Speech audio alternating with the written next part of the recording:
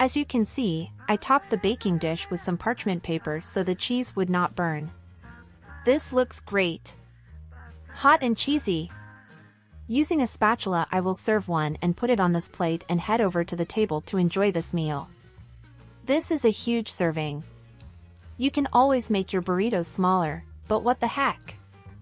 I love all of these ingredients. Thanks for watching.